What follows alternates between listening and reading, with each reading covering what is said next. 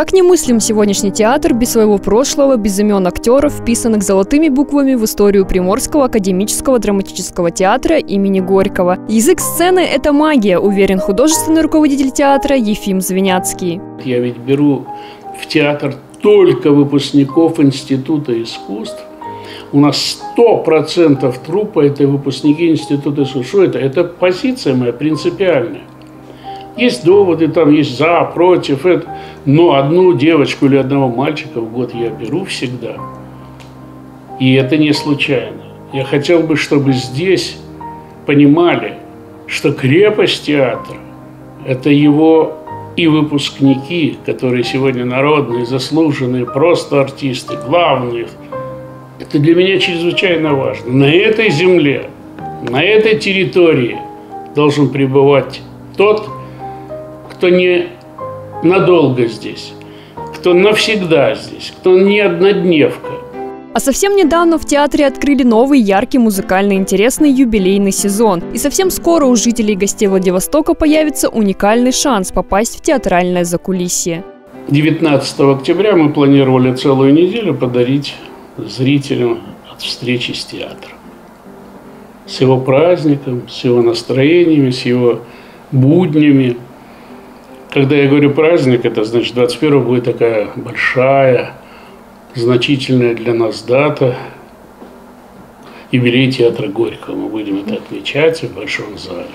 Когда я говорю технические истории, это те, мне бы хотелось познакомить зрителей и желающих увидеть театр изнутри, мастер-классами внутри театра, пошивочный, костюмерный, столярный, реквизиторский, бутафорский, посещение цехов, это тоже есть такой манок соучастия зрителей. Также совсем недавно на сцене театра прошла премьера спектакля «Арсеньев расхищению не подлежит», который ставил сам Ефим Семенович. Я назвал спектакль «Арсеньев расхищению не подлежит». И я как раз понял вот то, как-то надо трогательно, как-то по-человечески надо относиться друг к другу.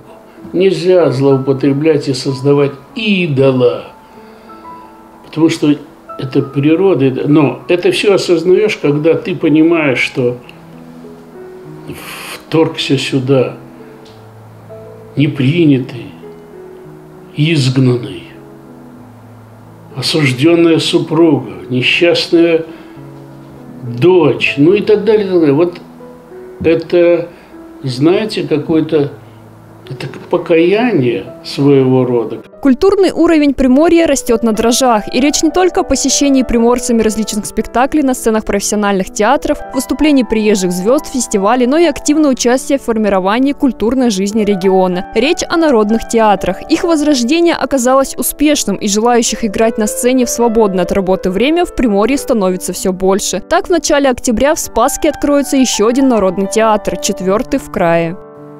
Я как-то пообещал э, в разговоре с губернатором Олегом Николаевичем, что давайте, ну, во-первых, он очень активно на это откликнулся сам, и это, если бы не администрация края и не то незначительное финансирование, которое идет все-таки под организацию, это же силы, затраты, декорации, костюмы, свет, звук, ну и так далее, и так далее то это вряд ли бы произошло. Поэтому ему низкий поклон.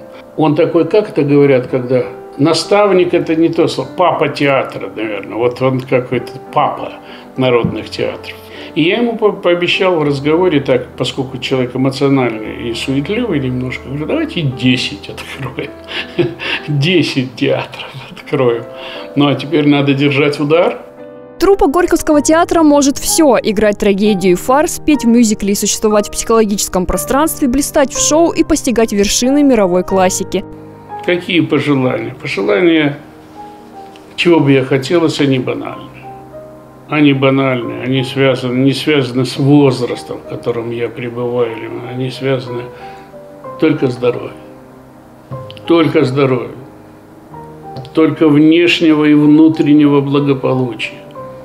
Я с ролями справлюсь сам здесь, давая роль лучшему, еще лучшему, еще лучшему. У нас слабых артистов нет. Давайте вместе порадуемся, что в нашем городе есть театр, влюбленный в зрителя, и есть зритель, влюбленный в театр. Ведь одно без другого немыслимо. Театр возникает только по любви. Анна Дьякова, Денис Фадеев. Новости на восьмом.